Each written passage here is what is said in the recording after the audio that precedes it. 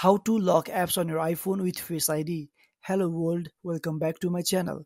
In this quick video, I'm gonna show you how you can easily lock apps on your iPhone with your Face ID.